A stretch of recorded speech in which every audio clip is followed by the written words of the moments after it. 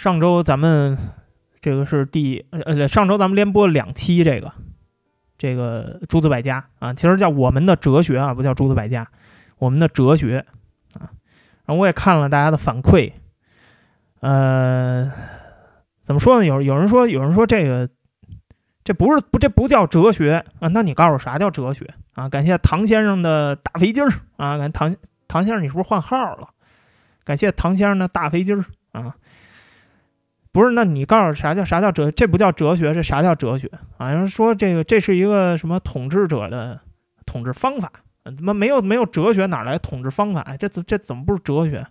这就是我们这个民族啊，或者说我们的这个文化，这就是最早的哲学啊！我已经跟大家说了，因为我们第一期就已经说过了，人类的哲学起源其实是同一时期，对吧？然后。在不同的地方突然出现的，大家都非常非常类似，对吗？古希腊有这些古希腊的哲学家，这个恒河流域啊，这个释迦牟尼，对不对啊？然后这个呃中东地区啊，犹太教的出现，这都是哲学，对不对？然后到了这个中国，到了华夏地区，华夏文明里头是什么呀？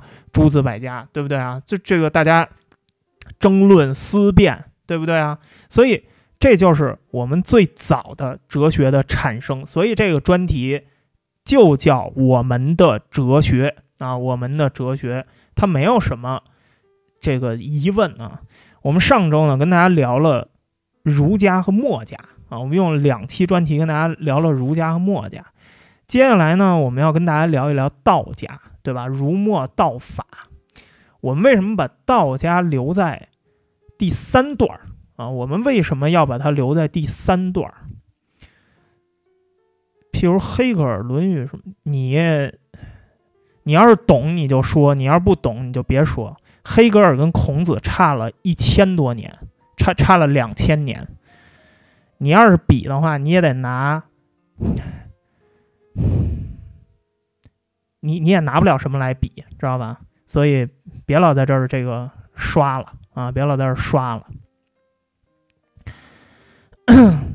我们为什么要去？就是你，你要是你要是想听，你就听啊；你要不想听，我们给你一禁言，好吗？然后你就出去就行了。这个，我为什么把这个道家留在第三段讲？但其实我们这个顺序是错的，知道吧？就是我，其实我从一开始我已经告诉你了：先有道，后有诸子百家。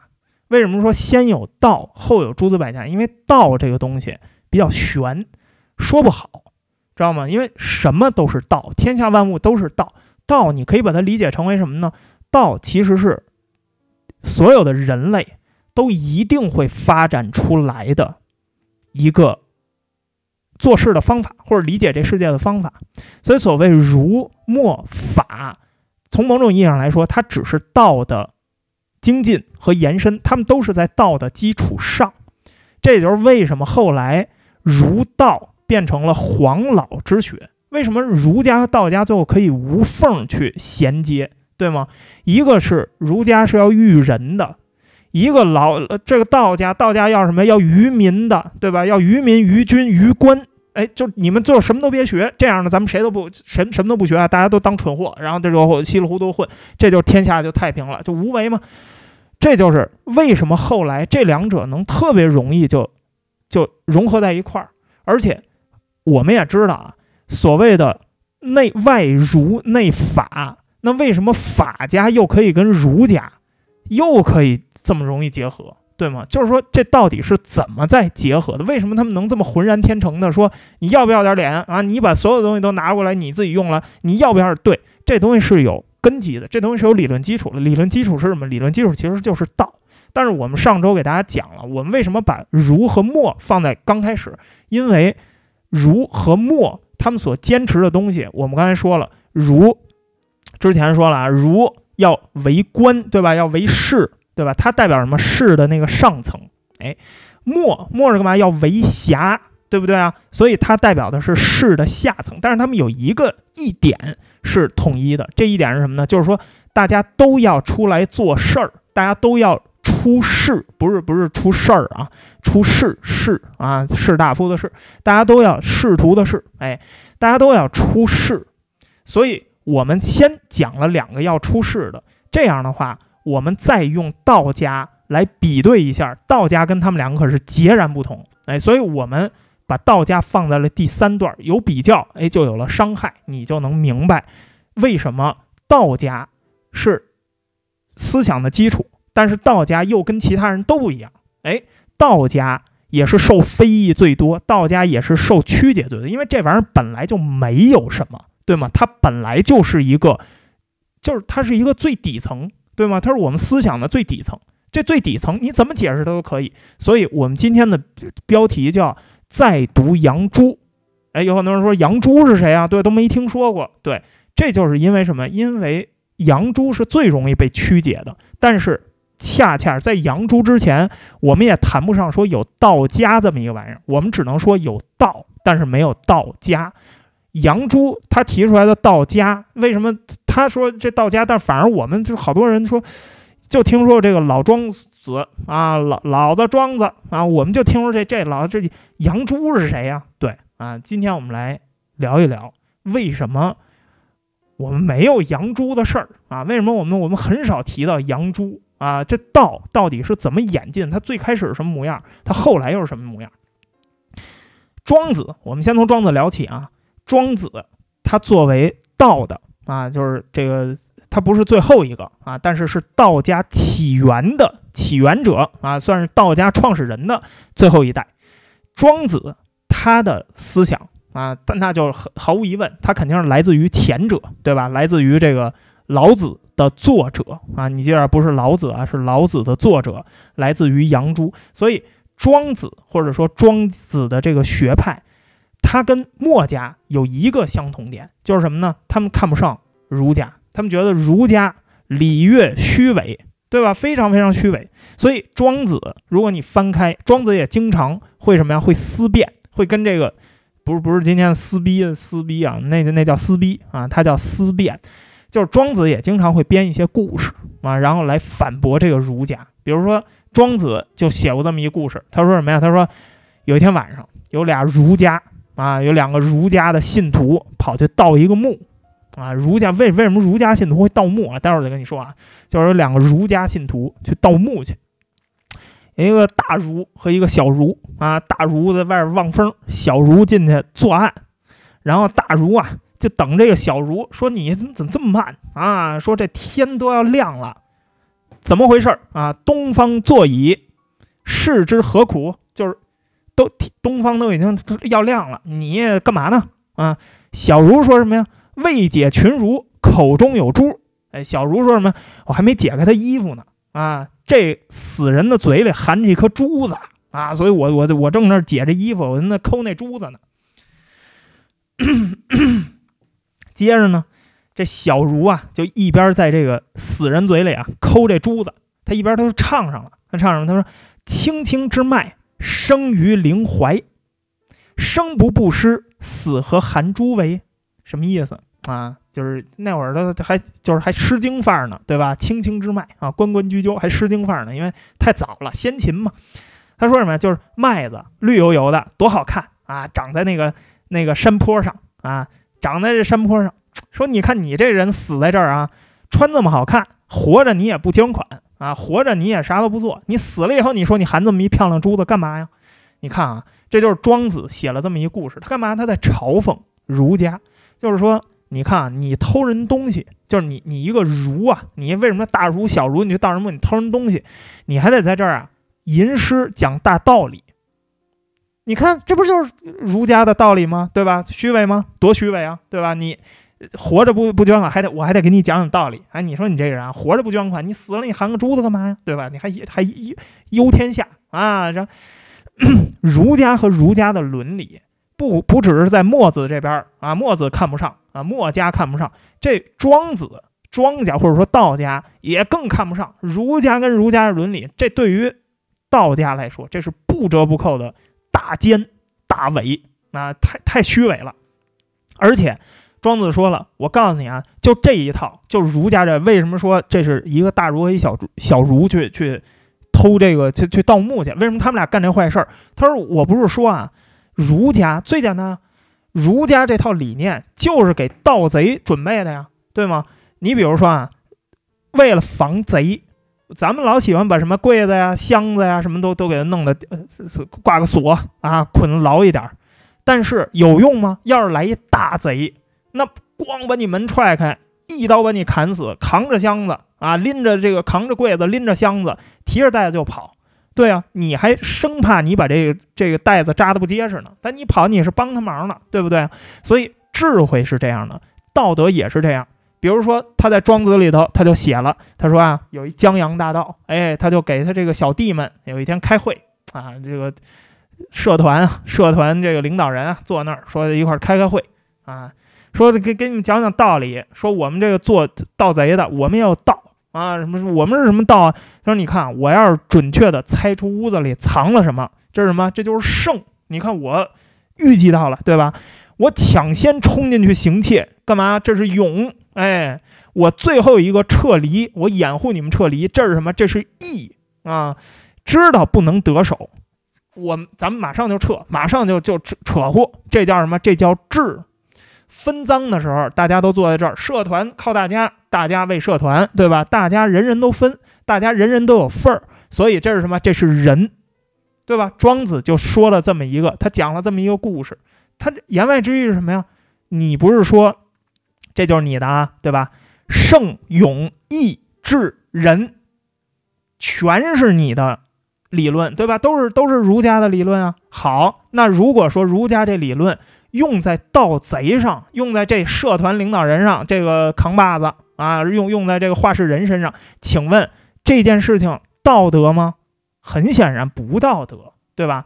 所以儒家伦理也好，或者说墨家的这个道德也好。因为这两点他们是一致的，对吗？所以好人坏人都用得上，而且不用说，坏人用的更好，坏人用的更顺手。所以庄子得出一个结论，叫什么呀？圣人生而大道起。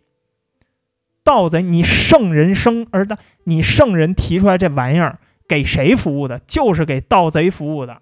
所以庄子。语不惊人死不休啊！语出惊人，圣人不死，大道不止。哎，就反正你你圣人都没了，这天下就太平了。这一棍子直接你看啊，儒家、墨家全都玩完啊，全滚蛋，对吧？圣人不死，大道不止。你们俩的这个虽然你们俩有分歧啊，你们你你你墨家你也觉得儒家血，但是理念上大家是一致的，对吗？所以庄子还要追根溯源。哎，他说什么？他说孔子、墨子叫孔墨呀，之所以跑出来，老是一个这个摆着一个说这个高高在上的一个模样啊？为什么呀？为什么就是有人买他的课，对吧？他这个卡怎么就有人买啊？说先生办个卡吧，说我们这课啊，我们这这个这个成功学课啊，为为什么有人听他们的课？为什么他有这么多的门生？很简单，因为这世界上世道人心大乱了。对吗？所以大家都有危机感，所以才有人去买那课啊。他们俩为什么有人买这课？因为他们俩都号称要救世啊，对吗？都说都说用我们的方法，我们要救世。哎，所以想要救世，那首先我们应该搞清楚什么呀？是人心是怎么变坏的？就这世道到底是怎么给变坏的？哎，谁把人心搞坏了？庄子得一结论啊，他说谁呀？下雨。啊，下雨不是演电影《阳光灿烂日》的下雨啊，下雨雨啊雨，大禹治水的禹，说下雨从那个时候从起根儿就乱了，人人都用计谋，个个都害别人啊，还说什么还满口还说什么替天行道，除暴安良，对吧？所以下雨从他那儿就坏了啊，使民心变。哎，为什么使民心变？因为顺，哎，地顺呢。他使民心静，竞争的静啊，地顺使民心静，然后呢，地尧尧舜禹尧尧使民心亲，亲是什么？亲就是儒家说那亲亲之爱啊，就是说亲亲自爱自己的亲人，这个是儒家伦儒家的这个伦理基础，对吧？但是对在庄子这儿，这就是祸根，亲亲这事儿对庄子来说不对，完全不对。为什么？是亲啊，有亲。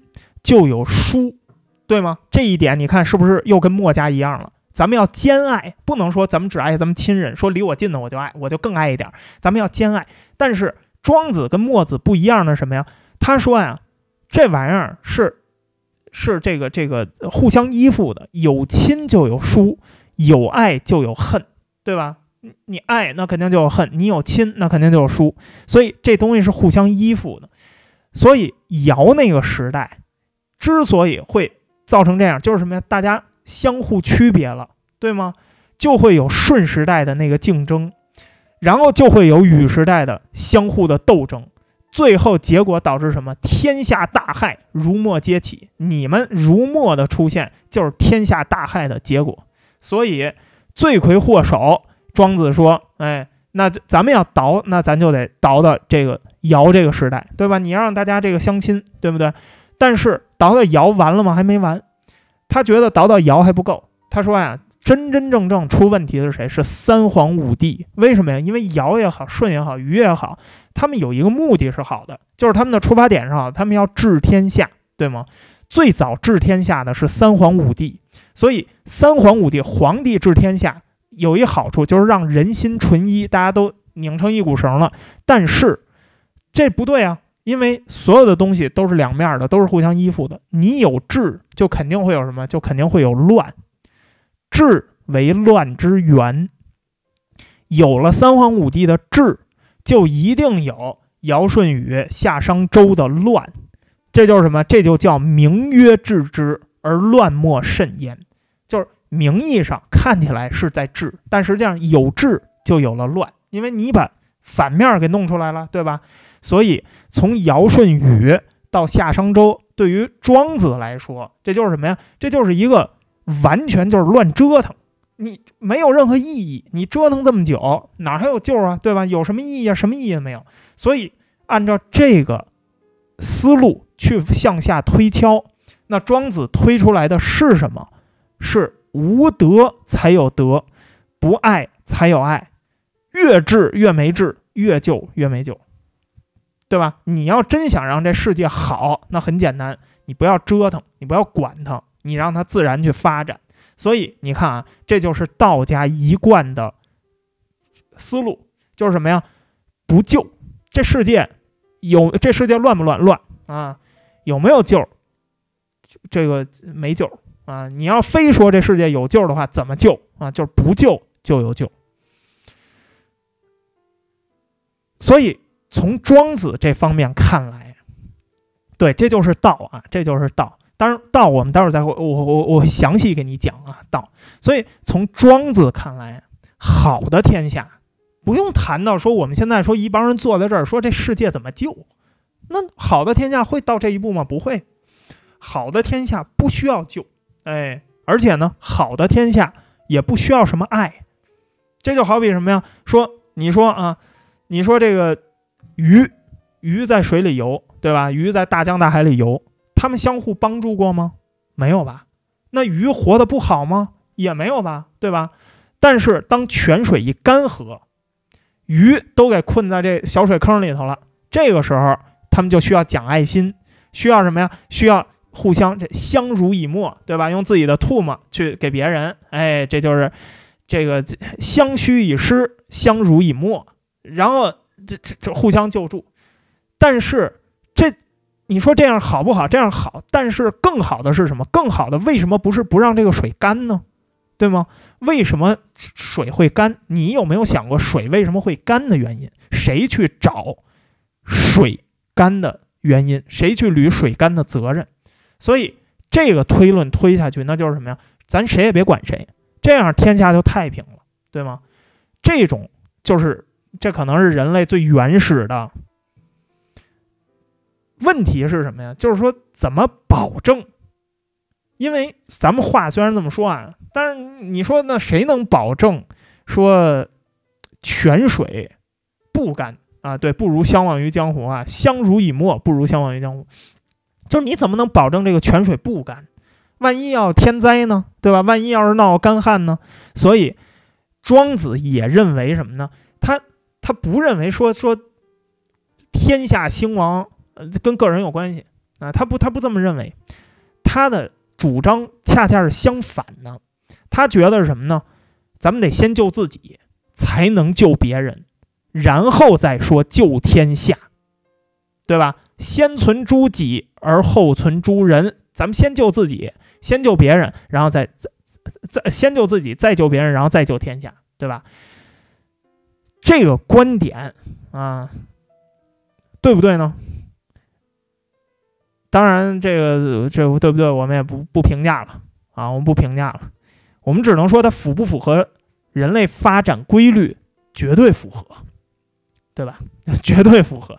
但是这个在在意某种意识形态下，它这个对不对啊？那我这个，嗯 嗯嗯，所以你自己想一想这逻辑，一个人要是连自己都救不了，你凭什么去救别人啊？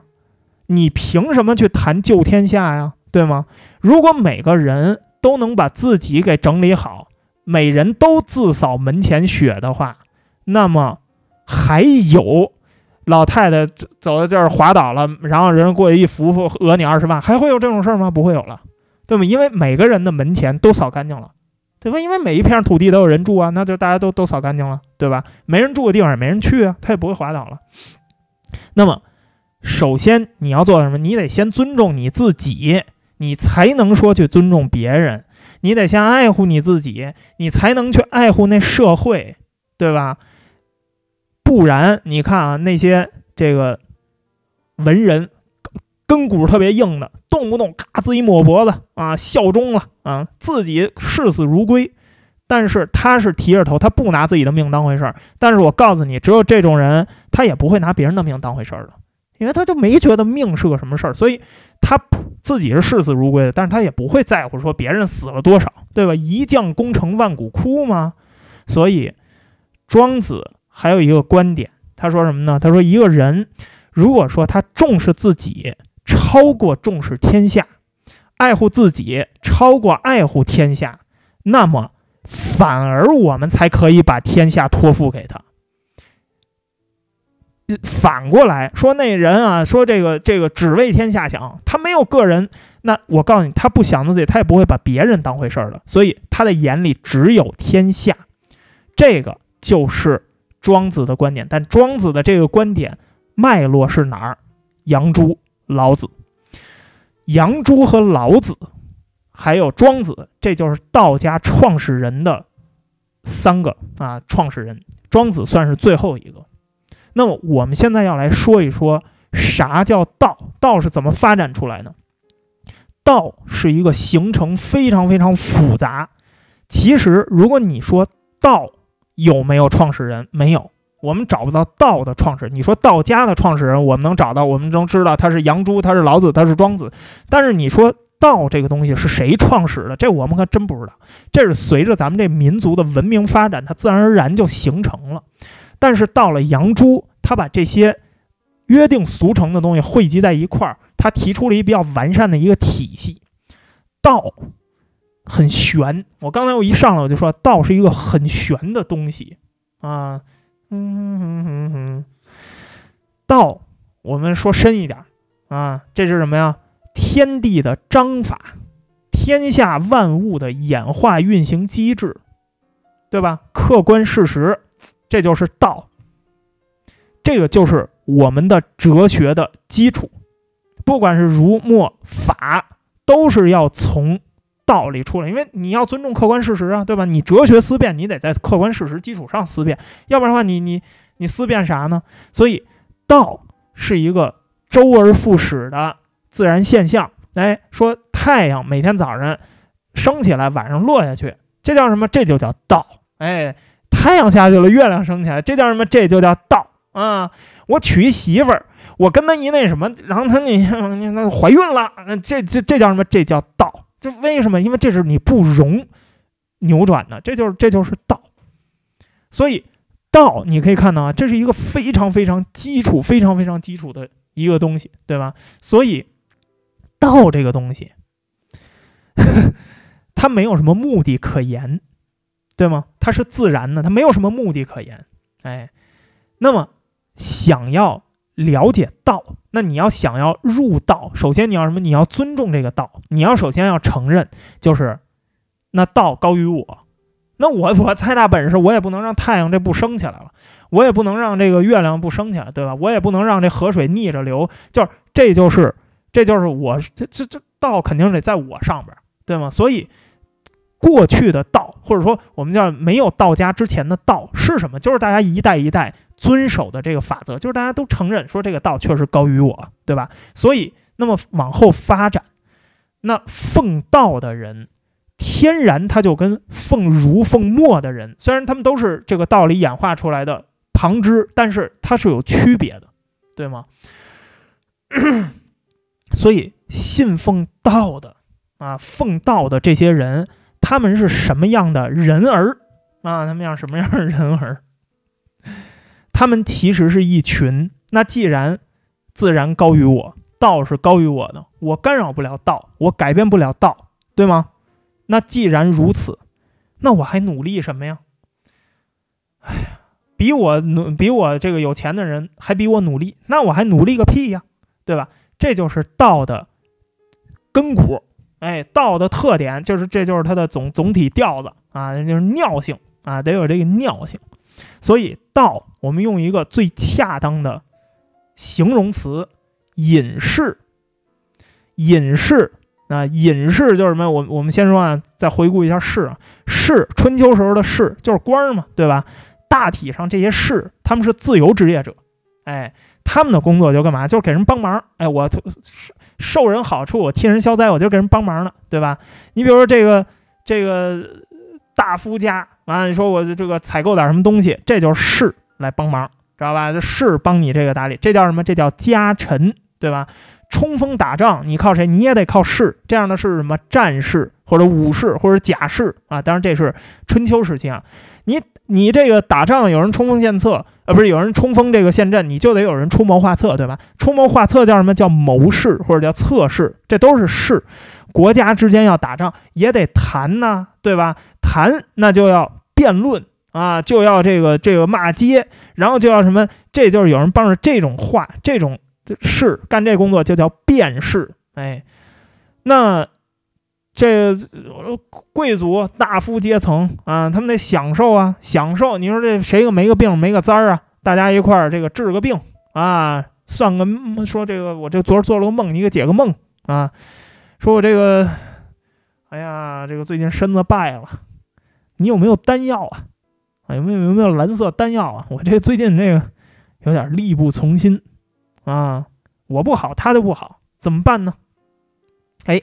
这也得有士啊，这些士就是什么？这些士就是方士，哎，专门出方子的啊，方士。还有一类士，自由职业嘛。还有一类是什么呀？就是什什么都没有，比较牛逼，什么都不会，不是 牛逼，什么都不会，就是就是我是我也没什么本职工作，我干什么呀？就是什么呀？我就好陪这个有钱人、达官贵人聊天、喝酒，哎，这就是什么？这就是食客，食客什么呀？就是。有事儿咱商量事儿，没事儿咱聊天儿啊，这就是时刻。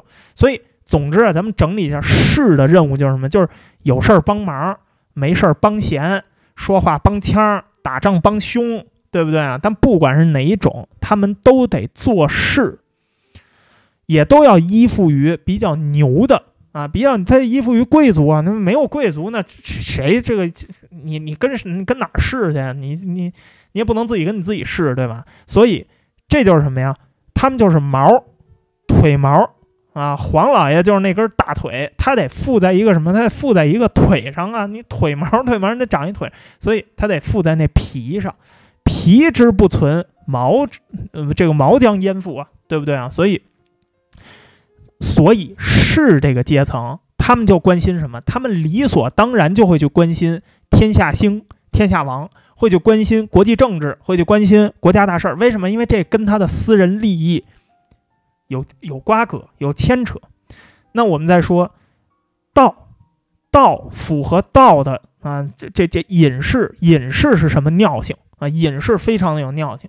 隐士就是我谁也不依附，什么事儿我也不帮别人做，也不为这动脑筋。哎，什么天下呀、人民啊、国家呀，跟我有什么关系啊？嗯，没有没有这关系。哎，有人说了，哎哎，主播主播主播，我也这样，那我是不是隐士啊？嗯，这个你想多了啊，你还离那个，哎呀，这还远了点啊。我没我没说你啊，你别不不用激动啊。对我知道这个好多人都是这样。这但这里有一前提，前提是你得有本事，就是说得有人请你，你拒绝了，你说哎，李富贵啊，你来这个当当一下我们这个商务部的顾问吧。啊，说这个当一下我们商务，我们最近有点这个贸易纠纷啊，搞不明白啊。你说这李富贵儿，哎呀，去不了，不去啊，不去，这叫隐士啊。你说这个本来人也没理你啊，人你就这个家待着吧，你这叫肥宅啊，所以这不是一码事儿。是是最典型的事啊，就是什么呀？就是你要拿这问题去请教他，他还非常生气。比如说早前啊，有一隐士啊，许由。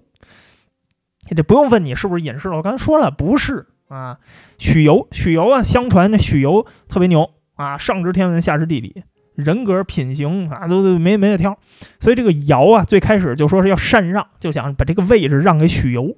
然后呢，这个这这话就传到了许由的耳朵里头。这许由听完这话以后，噌他就跑出去了。他干嘛去？他到河边洗耳朵去了，洗耳朵去了。结果呢，这个许由有一哥们儿啊，叫朝父。啊，朝父就特别的生气，说你啥意思啊？啥意思？你说你，你听着这不好听的话，啊，你侮辱了你的人格，你洗耳朵去，你洗完了耳朵，我怎么办？你把溪水都给弄脏了，对吧？尧要这个禅位给你，禅让给你，结果你去洗了耳朵，你把这水都污染了，你我没办法了，我这牛啊，喝水我只能去你上游喝了啊，拜拜了您那，看见了吗？这就叫做隐士，哎，这就叫做隐士，就是这许由跟这朝父这俩叫隐士，就是说我都不说你请我我去不去的问题，你请我我我嫌你脏啊，我嫌我就我觉得你侮辱了我啊，你一笑而过，你也就不是人啊，你是个禽兽，就是这样，哎，然后，所以。隐士不是谁都能做的，你至少得有这个级别，你至少得有这个这你姚啊，国家领导人级别的，对吧？你国家领导人说了，我把位子让给你，你做不做呀？不做啊，洗耳朵去了。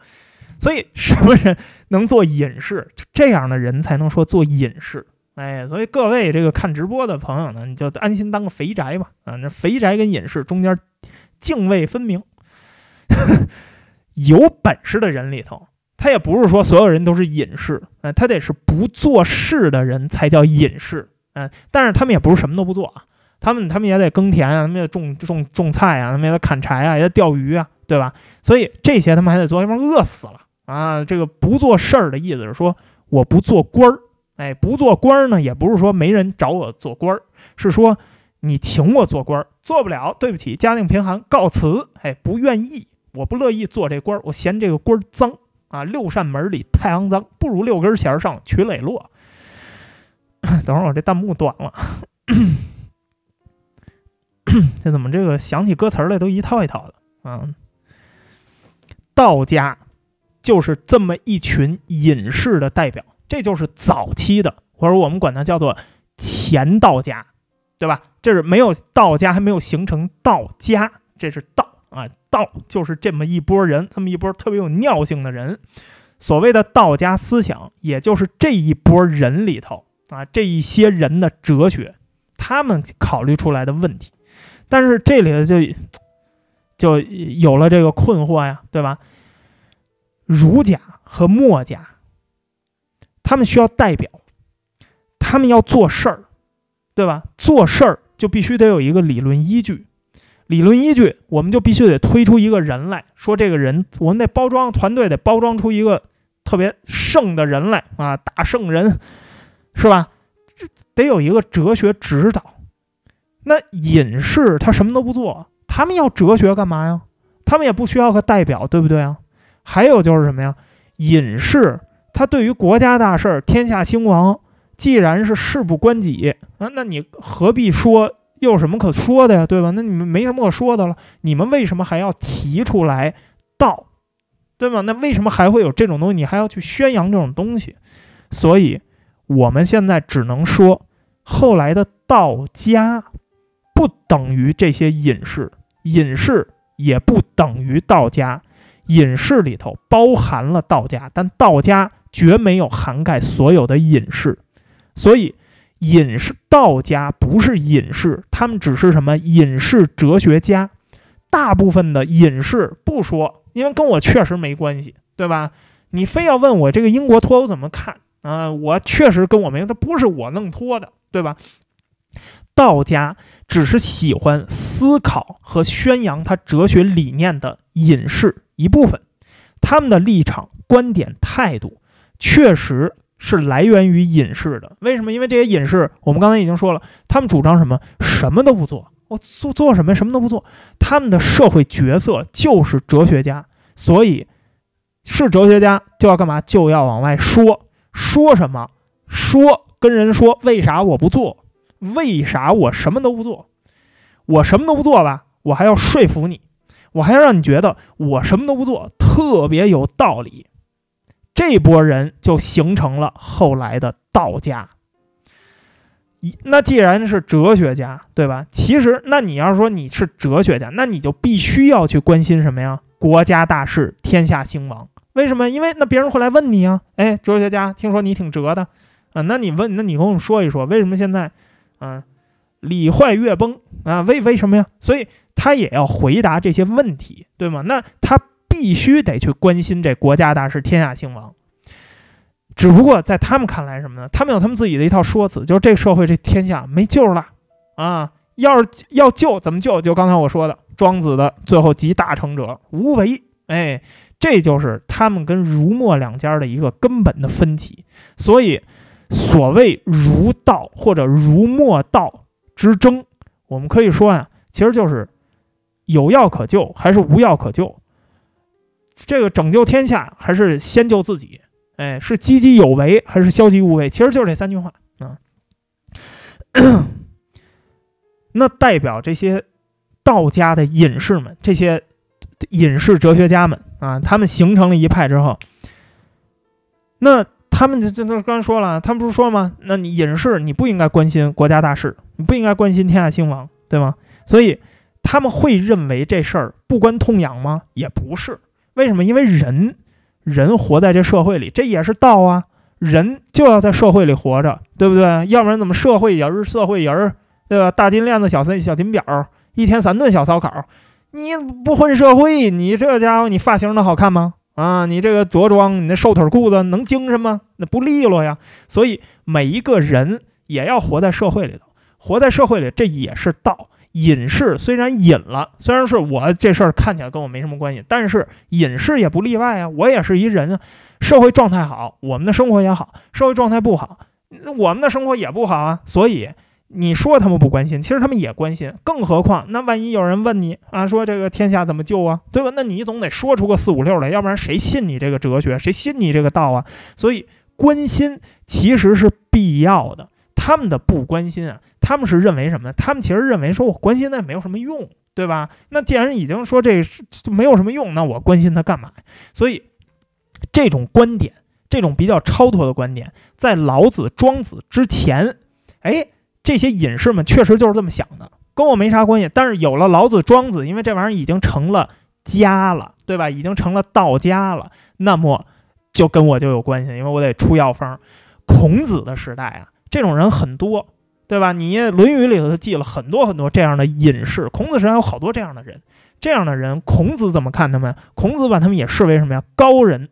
孔子对这些人都特贼客气。你看《论语》里那些记述，很敬重。啊，然后很客气，但是呢，这些人凡是能这能得有个名儿有个姓儿的，说碰着孔子了，都得数落他一顿啊，全都得这个什么，所以他们也不喜欢孔子，也不赞成，因为他觉得你把这个世界给带歪了啊。所以孔子微子里头就有一个例子，说楚国有一狂人，他叫婕妤啊，有时候叫婕妤，有时候叫婕妤的啊，婕婕妤啊，婕妤，文言文念妤，婕妤啊，他在干嘛？他就这个有一天孔子。开着车啊，孔子那会儿门生多呀，啊，有子贡赞助啊，有钱啊，名车啊，然后开着车啊，路上走呢。这婕妤听说这孔子来了，他就冲出屋子，哎，他就开始在这个孔子车边上，他就唱歌啊，一边过这个孔子的这个车呀，他就唱歌。他唱就唱给孔子听，唱的啥呀？唱凤兮凤兮，何德之衰啊？就是说，凤凰啊，凤就是凤凤凤凰，凤凰啊凤凰，咋这么倒霉呢？啊，往者不可见，来者犹可追。哎，就说你这个过去的挽回不了了啊，没做的事儿呢，咱还可以搂着不让他做，还可以挽回。哎，已尔已尔。今之从政者待尔，就是别扯淡了，算了啊！现在这个国家的统治者呀，已经完蛋了啊，已经待尔了，因为马上完蛋了。什么意思？这歌你连起来听，从孔子面前过去，他唱的是什么？他说啊，就这这世界没有救了，早就不可救救药了，你就是个凤凰啊！你就你孔子，你就是个凤凰，你在这个时代。你就是一只鸡呀，孔子你是鸡，哎，其实就是这就唱歌就主旨就是孔子你是鸡，这他们早晚要完蛋，这些执政者早晚要完蛋，这些国家早晚要完蛋。你东奔西走的，你去你说你在这干嘛呢？哎，孔子听完这歌什么反应呢？孔子听完这歌以后很激动，哎呀，唱太好了，哎呀，这谁呀？赶紧下车就要跟他谈一谈。结果呢，这婕妤啊跑了啊，一溜烟就跑了，就唱了一首歌就不再理他了，走了，哎。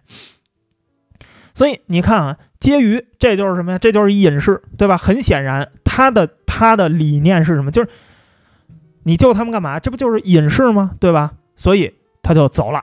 哎，他就我不跟你聊，这肯定是隐士。还有另外两个隐士啊，这个 这个这也是《论语》里头啊，这个长句和和这个桀逆啊，桀逆长句和桀逆。长长句啊，有后边念举啊，这个句或者举啊，这个文言应该是句啊，就是长句啊，又长啊，不是 长句和桀逆，长句和桀逆这故事呢，就更有代表性了。就说有一次孔子要过河啊，孔子这要过河找不着渡口啊，孔子着急啊，他就唱啊，他说哥哥也不是。他找不着渡口，结果呢，他就他就他着急啊，他就看见路边上有两个老者，哎，长句和杰尼，他们两个人就在那儿并肩啊，在那儿锄地呢，耕地呢。于是呢，这个孔子就让子路去问津啊，就是说问一下这渡口啊，说问问这渡口在哪。然后这子路就过去了啊，他先问的谁呢？问的是这长句，长句就说说这个，哎呀。驾车的那位是谁？子路说：“驾车那位是孔丘。为什么驾车？为什么说孔丘驾车？因为这个子路最开始他驾车呢，但是他下来以后，这车上就留着孔子一个人了，所以 他就把这个配头啊给了孔子，所以就是孔子驾车。哎，他说这个驾车者孔丘。哎，所以这个 很，你看啊，他他用的他说回答的是名字。”对吗？说明他也对这这长句啊，很这个什么呀，很尊重，对吧？就是矮一辈儿啊，不称夫子，很谦虚。然后这这个长句就问呢，说哪个孔丘是鲁国那个孔丘吗？子路说对啊，就是那个孔丘。长句说啊，那他应该知道渡口在哪儿啊，是之今矣。啥意思呀？就是。孔子不是什么都知道吗？不是聪明绝顶吗？他不是要给天下开药方吗？他不是天下的出路，他都知道在哪儿吗？那为什么一个小小的渡口你都要来问我呢？对吧？所以你既然已经知道了天下的出路在哪儿了，这一个渡口啊，我看你也别问我了。所以你看啊，这就是隐士回答子路的话。子路啊，那你没办法呀，他也不能说把他吊起来就。抽一顿啊，说这个打你一顿啊，他也他也不敢，所以这个子路没有办法，他又去问这旁边的桀逆，桀逆就说问啊，先生哪位？子路说啊，鄙人仲由，就说我是仲由，哎，也没称字，也很尊重，也很谦虚。然后这桀逆又问啊，仲由啊，我听说过你啊，你不是那鲁国孔丘的学生吗？子路说对的啊，我就是。桀逆说啊。这普天之下呀，都是洪水。谁能谁能制止这洪水啊？谁能改变这个现状啊？你又打算跟谁去一块改变这现状啊？滔滔者天下皆是也，而谁以易之？所以这意思也很清楚，就是这天下已经没救了，你在这费什么劲呢？你还不如啊，你也跟我这，反正你岁数也不小了，你也跟我们一块，你也路过，你跟我们这一块耕地来得了。所以还不如，与其说这样啊，你与其像孔子那样，孔子干嘛？孔子他一直想去跟别人合作，他只是在拒绝跟坏人合作，他只是在避人，有意义吗？没有意义。为什么？因为天下乌鸦一般黑，滔滔者天下皆是也，对吗？谁不用套啊？不是，大家都是一样的，所以你你拒绝谁，其实最后本质上看也是一个后果，谁也改变不了。你还不如像我们这样，干脆。咱们就在这儿隐居，断绝跟整个社会的合作，咱们就直接避世。长句跟这桀逆俩人说完，就不再理这个子路了。子路也没办法呀，子路就只好回去，就跟这孔子说了。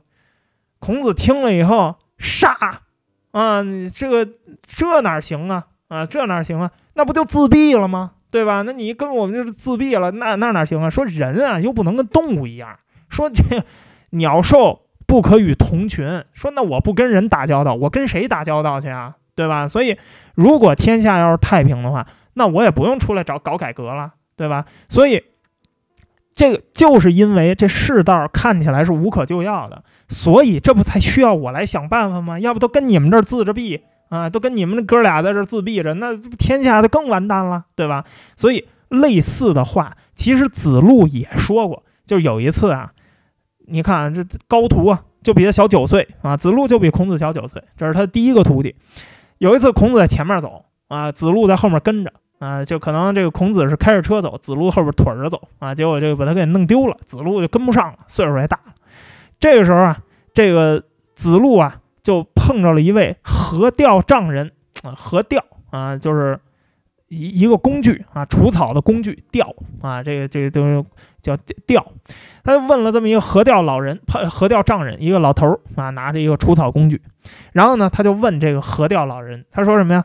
他说：“这个先生啊，你有没有看见我师傅呀？”河钓丈人说了一句话：“四体不勤，五谷不分，孰为夫子？”啥意思？四体不勤，五谷不分。啊，这种人是你老师吗？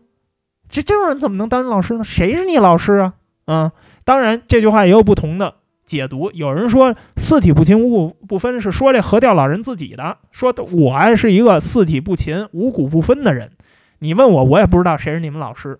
但是更当然，这话里有话，这是这是一个双关语，对吧？这很显然，他的意思是什么呀？他的意思是说四体不勤五谷不分的人也能是老师，就是你。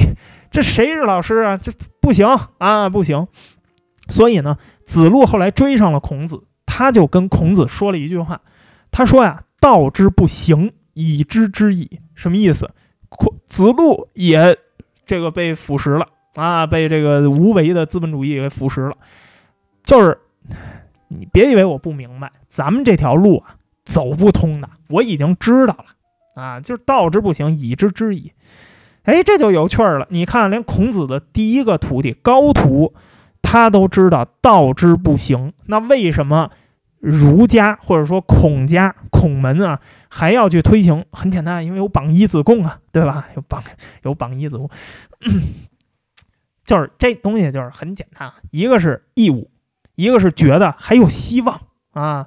子路也说过，他说什么呀？君子做官，为了什么？为了推行自己的主张，对吧？然后尽到一个什么呢？尽到一个世人该尽的责任啊！君子之事也，行其义也。就说我做这件事情，这是一个特别义的事情。哎，隐士们就顾着自闭了啊！隐士们倒挺好，洁身自好，对吧？但是他们其实只是取了小义，但是乱了大伦。哎，伦纲纲常啊，你这纲常啊，就拧在一块儿乱了，你这就是到时候你就出不来了，知道吧？所以。所以，不是即无益，是是啥意思？不是你要是有学问，不出来当官，对于儒家来说没有益。哎，但是这说不通啊！你出来做官又为了谁呢？你真的是为了天下吗？恐怕也不是，对吧？所以，不是无意。哎，但是这个又有希望啊！如果说这社会彻底没救了，那君子就算做了官，那又有什么用呢？对吗？那如果说咱们这个，我已知啊，道之不行，已知之矣。我已经知道这道不行了，那你说我还出来做官有什么用呢？所以说到底，儒家还是认为是道可救，或者说有救的希望。只有这样，儒家才能够不断的壮大，对吗？才能有不断的信徒，才能去给名门贵族啊，各国这个元首才能开小班授课，才能收徒，才能。嗯，对吧？所以孔子才能继续开药方，他才能够儒学才能够继续向前推进。所以这就是儒道两家的第一个分歧。一个是说天下大乱是啊，我承认有药可救；另一个说天下大乱我也承认，但是无药可救。所以这就有了第二个分歧：我们应该救天下。还是应该救自己，天下能救还是我们自己能救？所以道家很显然，他认为什么呀？他认为应该救自己啊，对吗？在他们看来，那既然天下已经无药可救了，那我对这世界一点主观能动性都没有，对吗？道是不可，我我我我我也这个颠覆不了这个道啊，我也扭转不了这个道。我能做的是什么？我能做的只有我自己。对吧？我只能去救我自己，这个就是谁的观点了？这就是杨朱的观点了。杨朱，先秦道家第一人。先秦道家呀，这个就是道家啊。我们现在说到道家了，我们现在没有再说道啊，道前道啊，已经说完了。到了杨朱这个地方，这就已经上升到理论高度了，这就要提出一个理论要去执行了，对吧？要去跟儒墨要去争锋了。啊，争名嘛，对吧？所以杨朱整个道家的创始三个阶段，第一个阶段杨朱，第二阶段老子的作者啊，记住啊，不是老子啊，老子的作者。第三个阶段就是庄子，哎，这是冯友兰《中国哲学史》里头他给分的类啊。当然，这个你同不同意随你啊。可惜，可惜在什么呢？杨朱这个人姓甚名谁不知道。啊，这个这个人没有没有人知道，我们只知道他是中国春秋战国时期一名道家的哲学家，一名隐士哲学家。有人说杨朱不姓这个杨啊，不是这个木木木一阳啊，是什么呢？应该是太阳的阳啊，阳朱应该是这个朱，朱就是朱红色的朱啊，朱元璋的朱，也就是朱。有人说他是他是这个杨朱啊，也有人说就是这个杨啊，就是这木易杨。有人说啊，他字子居，说他是魏国人，但是呢，这个生平咱也考不出来。很显然，他是把道家最后整理成脉络、整理成体系的这么一位人。有人说杨朱是老子的徒弟，这个说法有没有可能？有可能，但是我们也不知道，因为我们连老子是谁我们都不知道。对吧？因为历史上对老子的这个身份，咱也确认不了。《史记》里头啊，《老子·韩非子列传》这这搁一块儿说的。老子《史记》里头提了三个观点，有可能是李耳，有可能是老来子，也有可能是这个太史丹，对吧？所以我们也不知道。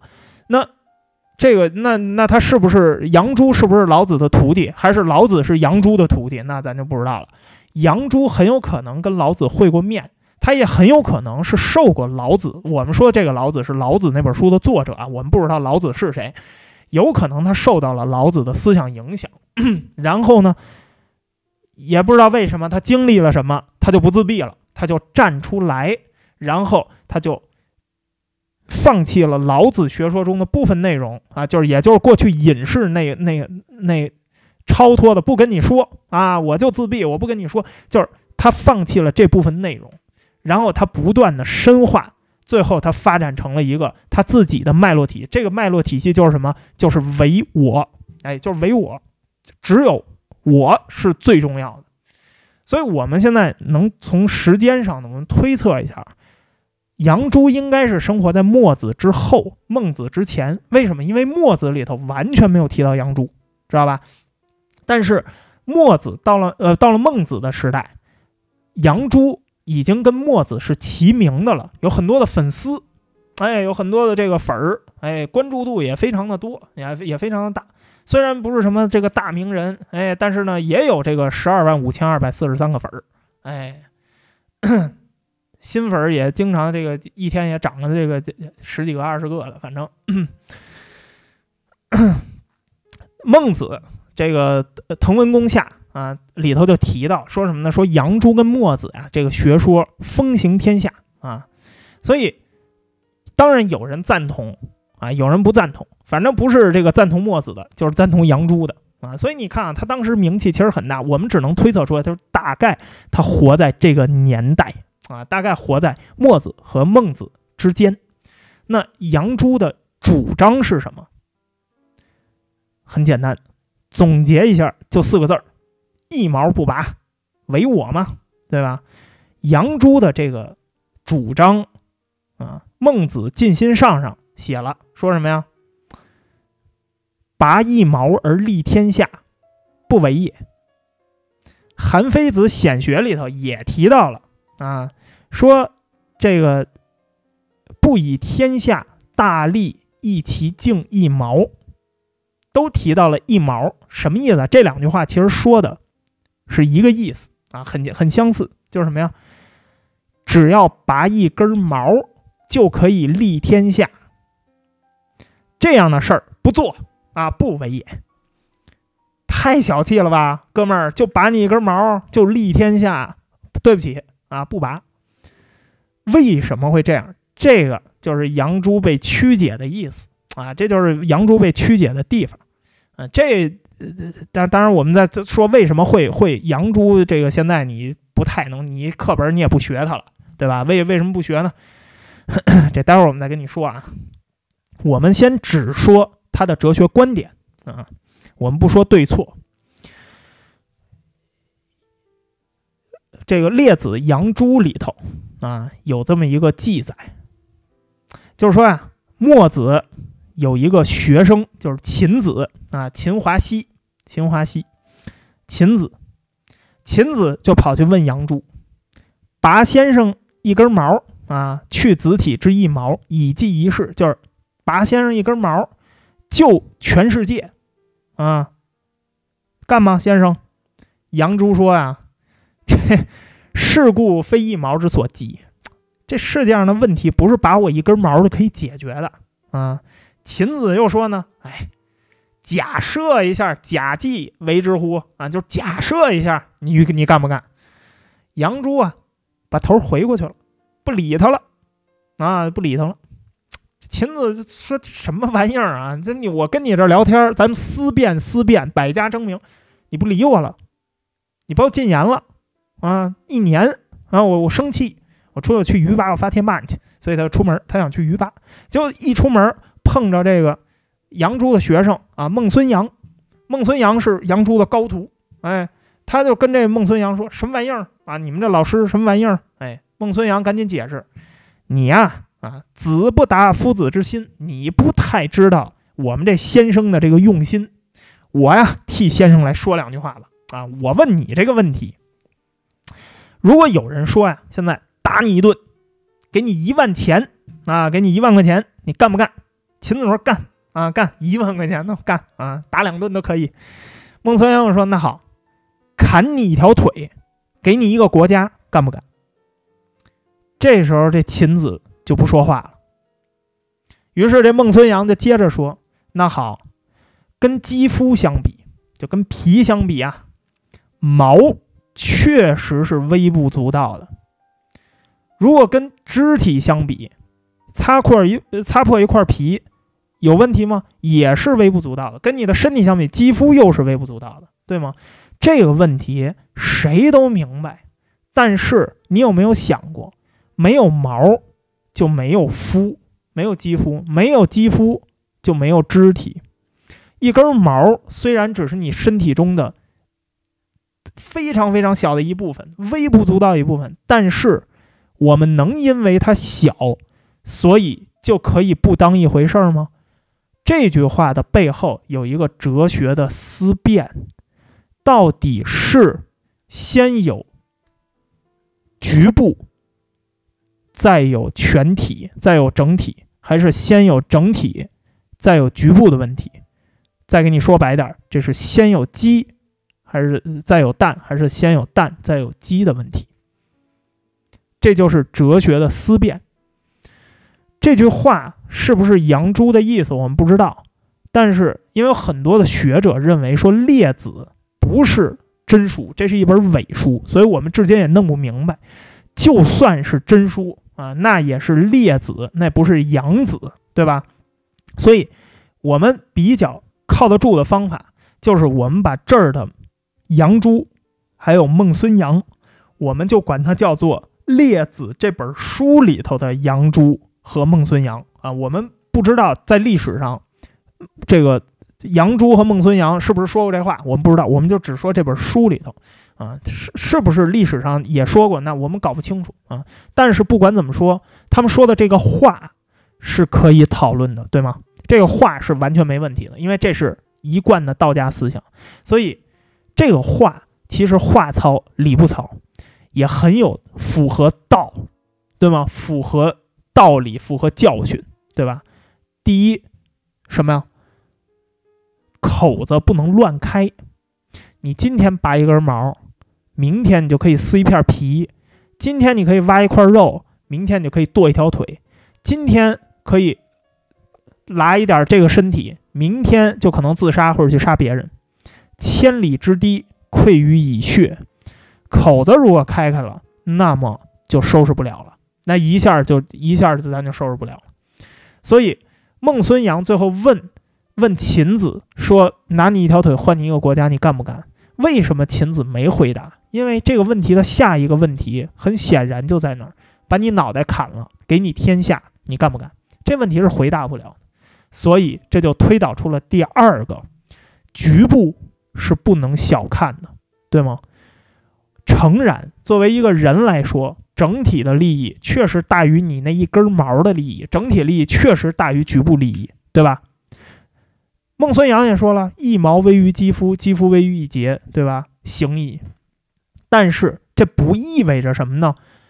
局部利益就不是利益，局部利益就可以被整体利益替代掉，局部就是可以被随便牺牲，这绝不意味着这个，因为整体是局部之和呀，对吗？你不把局部利益当回事儿，你今天牺牲一个，你明天牺牲一个。最后整体就会怎么样？就没有了。所以你不能说大河不满，小河干。事实上是什么？事实上是不管多大的河，都是由涓涓细流汇聚而成的。那么，如果所有的说这些小河、这些小溪都不重要，我们这泉水、溪水、小河都干了，随便干。那么，请问，如果他们有一天都干了，长江、黄河还有水吗？我们还有文明吗？我们什么也没有了。这两个道理很显然，我们再向下推导是什么？这就是道家的治国理念：别把小民不当人，或者换句话说，不要动不动就以国家、天下的名义任意剥夺、侵犯个人权利。个人与国家与天下就是毛。和皮肤、和肢体、和全身的关系，如果没有了毛，那么何来的没有细节？何来的整体？没有局部，何来的整体？没有人，没有家，何来国家？你因为他们小，你就可以不把他们当回事儿吗？小民也是人，小民的生命也是生命，对吗？只要是生命，就得尊重，就得珍惜，哪怕它跟根毛一样。完全不当回事儿，但是谁要是真把小民当成毛，随随便便就给拔了，不行，这可不行，这就是所谓的拔一毛而立天下不为也，这才是这句话的意思。只不过这句话为什么不中听啊？因为太激进，对吗？他没有解释这些原因，他太激进，因为。就算是列子里记载的，也不是说是这个杨朱自己说出来的，这还是伪书上记载的，对吗？所以这个东西拔一毛立天太激进了，他说的什么？并非是当真是说拔一根汗毛就能够立于天下啊！这这说的不是这个事儿啊！就这他说的背后是有一大套的，我们要去推导，因为他是要思辨的，对吗？所以事故非一毛之所及，这世界不是说我拔一根毛能救得了的，对吗？哪有哪有天下说因为我拔一根毛你就能你就就能把你给救了？这根本就不可能，对吧？说穿了，为什么你问我这个问题？为什么秦子会去问杨朱这个问题？说穿了，你是在干嘛？你是在下套，你是在想让杨朱开一个口，你想让杨朱先现出一根毫毛，接下来你就可以套他去现出肌肤、现出肢体，最后献出生命。所以杨朱的回复很简单，把话说透，咱们说到底，说到极点，咱们往后倒。对吗？你凭什么要我的命？你凭什么要我这根毛？你别说要我的命，你现在，你要是能说得过我，你就说；你说不过我，对不起，一根毛我也不给你，因为毛关乎整体。羊猪除了损益，这个，等会儿啊。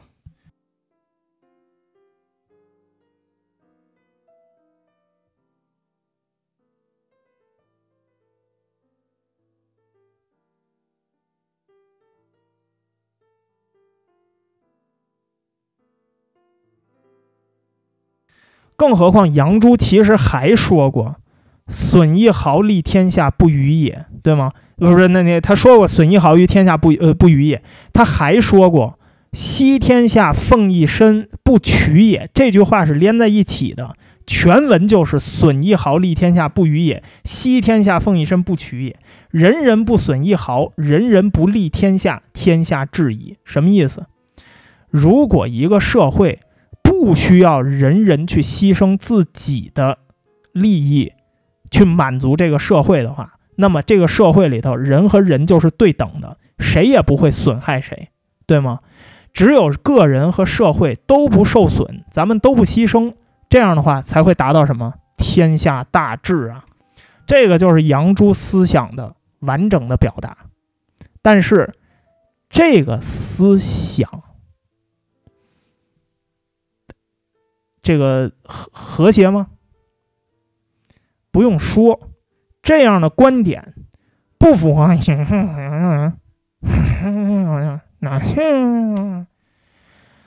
所以呢，这个你在学先秦诸子百家的时候，我不知道你教材里头有没有杨朱，反正我教材里没有杨朱啊，我没有读到过杨朱。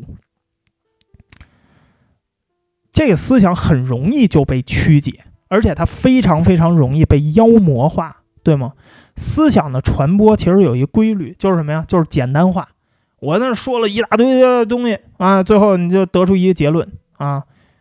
我说这个文科不如理科，这就是好多人听我们节目得出来的结论，知道吧？这就是就是因为笨嘛，蠢嘛，脑子里的这没东西嘛，所以就是也没有也不想再去听我之前说过什么，也不想去分析，就是最后就简单化。哎，简单化了，这就符合他的认知了。把深刻的思想，他觉得想明白了啊，一听就懂了。最好把它形成口号，哎，达到谁谁谁，就最好把它形成口号。这样的话就能广泛传播了。但是语言，尤其是中文，它可是有着丰富的多义性和多样性的。简单的说法很容易被曲解，对吗？所以这种简单的工作。如果落在自己人手里，那还好，那是往好的方面去讲话。那如果落在不不对付的人手里，跟你的这个意识形态相左的人手里，那么很容易就被妖魔化，对不对？杨朱其实他的命运就是这样，那就是就是这样了，对吧？那这损一毫利天下不与也，惜天下奉一身不取也。如果说我们把惜天下奉一身不取也删掉。我们把后半句删掉，就只留前半句。哎，天才是百分之九十九的汗水加上百分之一的这个天分啊。如果我们把后边这句话去掉啊，我们把我们把这个，但是没有这百分之一的天分，有那百分之九十九的汗水也没用啊。如果我们把这后边这句话去掉，那么整个句意就变了。所以杨朱他就面临着简化再简化。所以因为大家都不喜欢你，这太自私了，太激进，太自私了，对吗？思辨的年代有多少的政敌等着找你的毛病？所以杨朱被简化再简化，到现在变成什么了？一毛不拔啊！杨朱说了什么？就说了一毛不拔。孔子是鸡，一毛不拔。庄子说了孔子是鸡，哎，这个杨朱说了一毛不拔。所以，为什么我们这期专题叫重读杨朱？杨朱后边这句话非常非常的重要，明白吧？因为这句话言外还有什么呀？除了一毛不拔以外，还有一个非常重要的观点：天下为公，对吗？因为人人都要为己，人人都要为我，都要为己。天下大治，他不反对天下大治，他也不反对天下太平，只不过在他看来，这种天下大治和天下太平，这不是能靠牺牲个人观点来实现的。哎，但是我要，我要，我要再说一句，因为有很多这个不不懒得思考的，又该说啊，那你的意思就是道家是对的啊？别着急啊，我讲这个这个儒家的时候，进来一波激进的啊，非说我是孔吹啊，最后听到最后，不知道你还说说不说我是孔吹啊？我可没说，道家是对的，你也不要曲解这个意思，哲学思想是人类思想的脉络。这是早期的哲学思想，早期人类在思辨的过程中有对也有错，因为那个时候的思想在发展的过程中，我要先跟你说明白啊这句话，所以不要不要做无谓的联想啊，不要做无谓的联想。所以杨朱他认为什么呀？他认为这些不是能够靠个人努力来实现的，也不是靠个人牺牲来实现的。天下大利等于什么？等于无数的个人小利之和。这句话就是什么呀？积一毛以成肌肤，积肌肤以成一节，就是它是无数个小利的总和。所以每个人的生命都不受到伤害，每个人的利益都能维护，都能不受损害，那么天下才能大治。所以，这才是这句话的意思：人人不损一毫，人人不利天下，天下治矣。典型的什么呀？隐士思想，对不对？典型的道，这就是什么？无为而无不为，或者说不利而无不利。所有的人都不损害自己，那就没有人受损害；如果所有的人都不做牺牲，那就没有人会牺牲。一个既没有人受损害，又没有人会牺牲的社会，请问天下又怎么会乱呢？这不是太平盛世吗？那现在这个问题就是，这到底是不是一个理想主义的幻景？是不是一个理想主义的愿景？很显然，当然是，对吗？可能吗？不可能。生产力要发展，生产关系越来越复杂，对吗？那没有没有这个资源去协调生产力，生产力怎么发展？所以这个在当时儒家认为不可能，墨家也认为不可能，只有道家自己认为可能。所以这里头又出现了第三个分歧，就是什么呀？到底是我们应该是有为还是应该无为的问题？那么无为的这个问题就不是杨朱的探讨对象了，这就是。老子作者的探讨对象了，所以下一期下周啊，周四我们再跟大家继续聊老庄孙老子，给你讲讲老子的故事啊。好了，我们今天的录音就先到这儿。不管你在哪个平台听我们的回播啊，是浑水摸鱼、喜马拉雅还是优酷 YouTube，都点赞留言。啊，小老弟儿、小老妹儿都支棱起来。那么，感谢各位的收听。我们把时间留给斗鱼直播间的弹幕。